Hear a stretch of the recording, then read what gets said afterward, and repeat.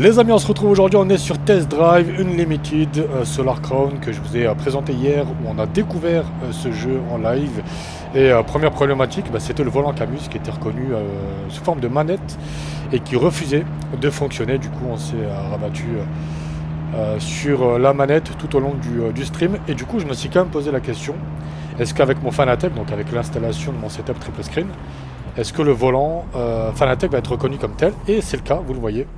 Alors on est avec une rotation à 360, hein, parce que déjà la rotation in-game, vous le voyez, elle est uniquement, je crois, de 90, 45 à gauche, 45 à droite. Sur l'aspect visuel, on est bien au-delà de ce qui peut se faire de pire, euh, puisque déjà sur euh, les Forza, bah, c'est du 90 à gauche, 90 à droite, quand on a l'animation en vue intérieure, mais là ils sont allés encore euh, bien plus loin sur, sur la bêtise, c'est de mettre potentiellement du 45 à gauche, 45 à droite. On n'a pas la possibilité de gérer encore la zone morte, il y a 0,1 euh, de zone morte, ce qui fait que lorsqu'on le bouge, vous voyez, on a encore le petit rappel à 12 heures qui ne bouge quasiment pas, ou du moins très peu, avant d'engager euh, un peu de mouvement sur la direction. Mais euh, toujours est-il, là ça fonctionne, mon pédalier Singveld, la boîte de vitesse, mais bon là on est en, aux palettes. on va essayer peut-être de prendre... Hop là. Prendre un peu de vitesse, là s'il y a moyen de trouver notre panne. Et euh, du coup là on est en triple 2K et non pas en 4K parce que pour vous donner un petit peu euh, de contexte encore une fois sur euh, la partie optimisation, je l'ai testé en triple screen, triple 4K avec une résolution de 11520 x 2160 et on arrive on arrive à 22 FPS. 22 FPS avec une 4090 Ti. Euh, 4090 Ti. oh le mythe.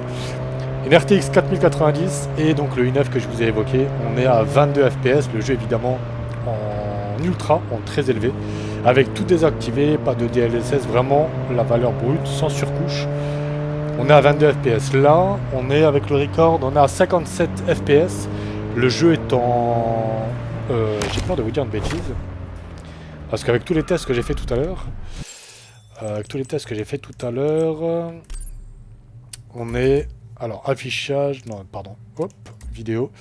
Donc là, vous voyez, on est en 7680 x 1440, donc triple 4K, euh, triple 2K, pardon, avec un taux de rafraîchissement à 100 Hz, mais les écrans ça, sont à 120.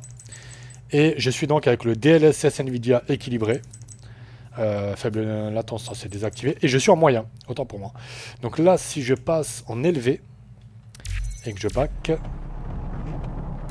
euh, on a 48 FPS. Donc on perd à peu près on perd à peu près 10 euh, FPS entre euh, l'élevé et le moyen. Donc on va rester en moyen pour garder plus ou moins quelque chose de raisonnable pour le record. Et euh, pour la vue, pardon, pour la vue, on a cette vue là, typiquement de ce qu'on retrouve aussi sur du Forza, et c'est Corsa aussi, pour nous priver d'avoir le volant, mais on voit plus du tout le rétroviseur à droite, même s'il ne sert pas à grand chose. Euh, mais ça permet justement de se dispenser d'avoir ce problème de synchronisation entre le volant qu'on a in-game et le volant qu'on a entre les mains. Mais la seule chose qu'on peut ne pas lui enlever, c'est le son, honnêtement, que je trouve euh, plutôt, euh, plutôt bien foutu. On est avec cette Alpine qui chante plutôt pas mal, mais le moteur graphique donne un rendu un peu pâteux. Et avec la flotte, ça n'arrange pas, puisque ben, en termes de rendu sur la flotte, c'est vraiment, vraiment, vraiment pas ouf. Euh, j'aimerais bien retrouver un petit peu de... Euh, une espèce de, voie rapide. Euh, attendez voir, je vais peut-être me mettre... je crois que c'est ce bouton-là, voilà. Ok, tout au bout et on va à gauche.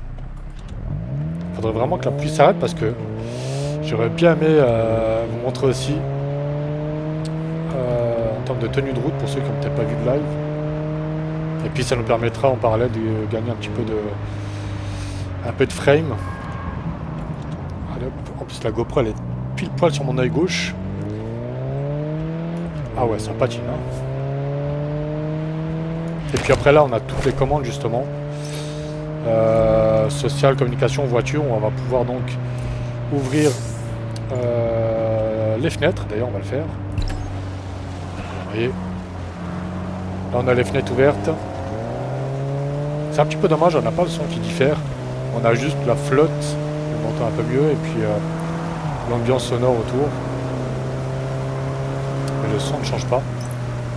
Parce que sinon, ça chante plutôt pas mal.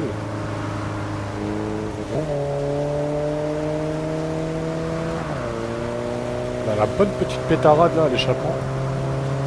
On va rester avec cette vue-là. Hein. J'ai l'impression que c'est la plus cohérente en termes d'échelle, même si elle n'est pas du tout cohérente, mais c'est ce qu'il y a de mieux.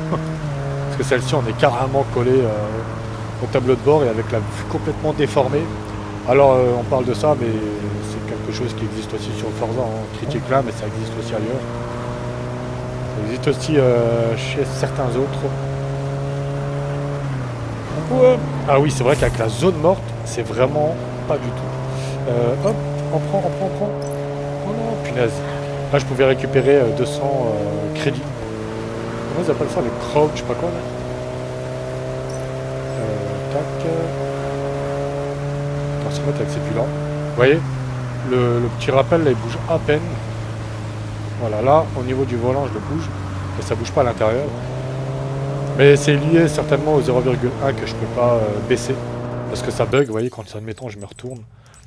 Et je vais ici.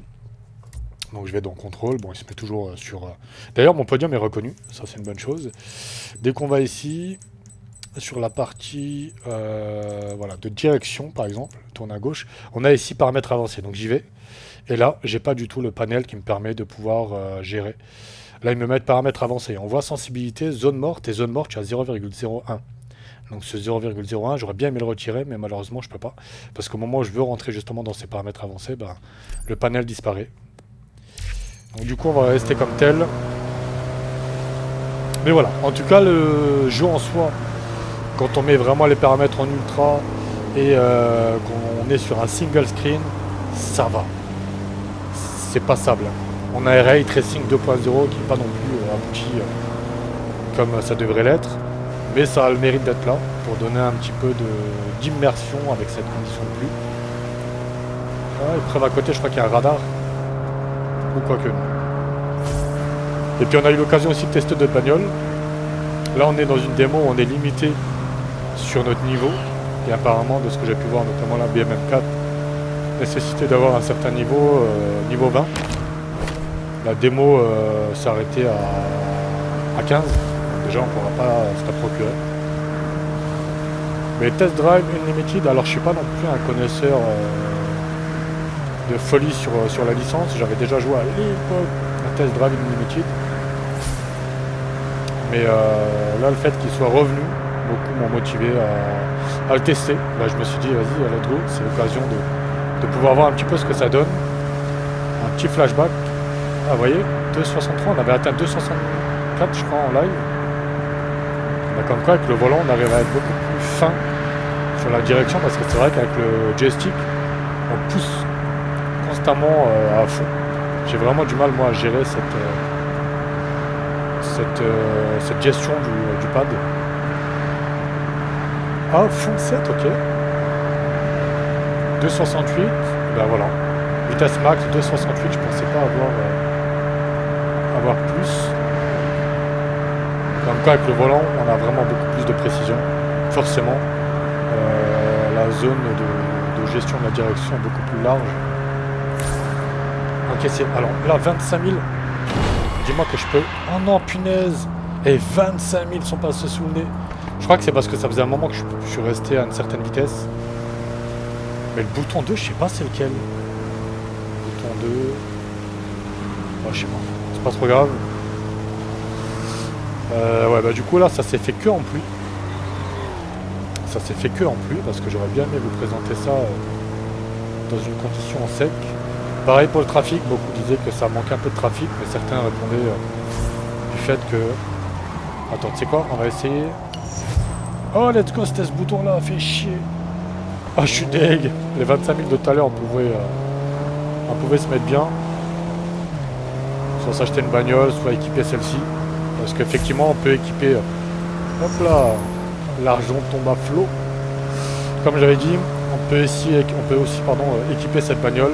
On a vu turbo, bougie, disque, pour le freinage quoi, amortisseur. Il y a aussi l'aspect visuel on va pouvoir euh, changer les jantes, on va pouvoir y ajouter un skin, on va pouvoir teinter les vitres. Je vous fais rapidement un résumé de ce que j'ai découvert euh, en live. Donc a, voilà, il y a une partie custom. Ouh là là, horrible. Il y a une partie custom. Mais en tout cas, euh, voilà ce que ça donne pour le... Et j'espère que le rendu va être bon. Euh, je crois que c'était à gauche. Je crois, hein. Pour refaire le, retour.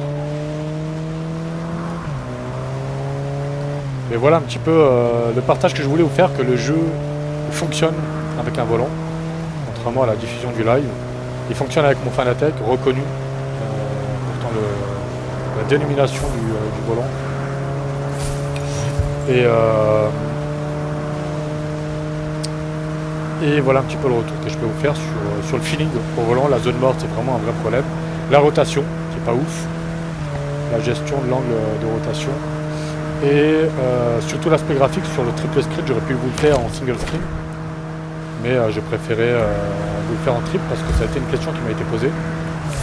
Et ça peut peut-être aussi intéresser certains à voir ce que ça peut donner ce jeu sur, sur du triple screen avec une configuration euh, comme la mienne. Et pour ceux qui voudraient vraiment voir comment le triple screen est géré, ce qui est pas ouf. Mais encore une fois, ça se fait comme tel ailleurs. Donc, ça a le mérite d'être là comme je l'ai indiqué. J'espère que cette euh, session, j'allais pas dire découverte, mais présentation plutôt découverte, oui, effectivement, du jeu en prise en charge triple screen. Vous voyez que c'est pas le cas, mais en tout cas sur la résolution triple screen, ce que ça peut donner. Et euh, mes premiers retours en tout cas sur la gestion du jeu avec un, un Fanatec. Encore une fois, c'est vraiment dommage de ne pas avoir de, temps sec. J'aurais vraiment aimé vous, vous, partager ça avec du temps sec pour avoir vraiment de la visibilité sur, le décor au loin. Mais voilà, ça permet au moins de, complexifier un petit peu le, la session d'aujourd'hui. Bref, j'espère que cette découverte, ce partage euh, de ce gameplay en triple screen vous aura plu. Et puis bah, je vous souhaite de passer une excellente journée, une excellente soirée. Vous avez le champ commentaire pour partager vos avis. Prenez soin de vous et on se dit à très très bientôt. Allez, ciao ciao tout le monde.